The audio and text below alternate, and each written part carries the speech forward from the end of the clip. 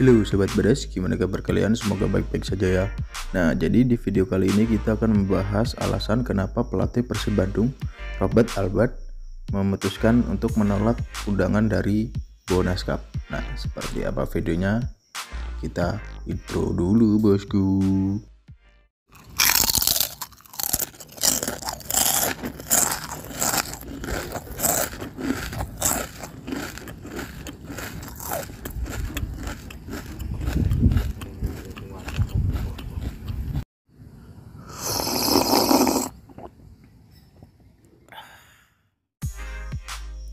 Mengenai ajang Bonas Cup, Persib Bandung menjadi tajuk utama yang mendapat sorotan karena mengalami krisis striker.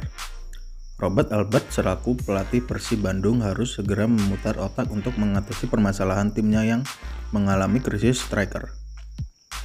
Klub berjuluk Maung Bandung ini sebenarnya mempunyai dua nama striker yang kualitasnya setara. Dua nama striker Maung Bandung yang dimaksud adalah David Da Silva dan Ciro Alves. Namun nasib apes menimpa David yang kini dikabarkan menyusul Chico naik ke meja perabatan.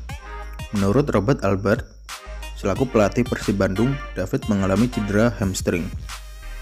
Berdasarkan kondisi tersebut, Maung Bandung dapat disimpulkan tidak bisa memainkan dua pemain asingnya di Bonus Cup. Maka dari itu pelatih Robert Albert memutuskan, memutuskan bahwa timnya akan menolak undangan dari Bonus Cup.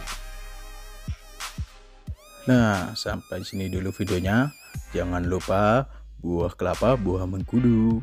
Jangan lupa subscribe ya bosku.